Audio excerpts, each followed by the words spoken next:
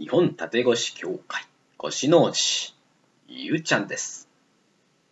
今日の話は月収100万整体師の施術の法則。20今日は法則その16です。16はこちら。断大断小断足断地ができている。なんじゃこりゃと。これは僕の造語なんですけれどもね。断大断小断足断地だんだん大きく。だんだん小さく。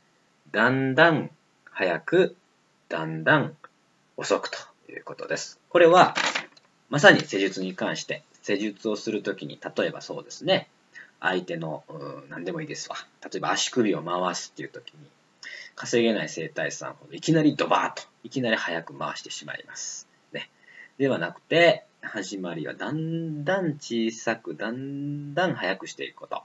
遅い動き、小さい動きからだんだんだんだんだんだんだんだん大きく速くしていく。で、終わるときはだんだんだんだん遅くして、だんだん小さくしてって終わるというやり方をしているのが、もう意識的にも、もちろん無意識にもやっているのが稼げる整体師さんです。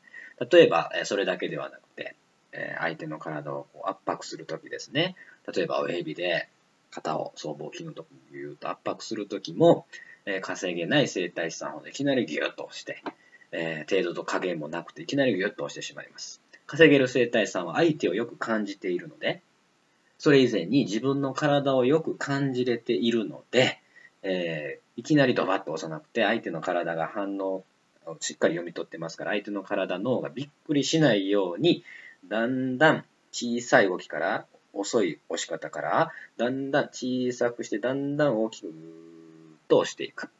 で、話すときは、だんだんだんだんまたゆっくりして、うーっと話すっていうのを、もうとことん追求してやっているのが稼げる整体師さんです。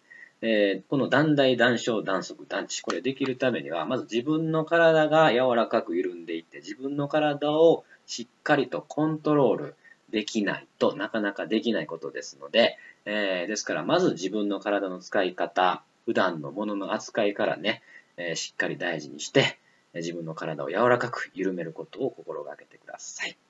今日の話は以上です。えー、月収100万整体師になるために今日のポイント。まず自分自身を緩めようと。自分自身を緩めることで勝手に相手を緩める施術ができるようになる。相手を緩める施術とは断大、断小、断足、断地ができているということです。今日の話は以上です。次回は月収100万生体師の施術の法則20、その17をお届けします。では。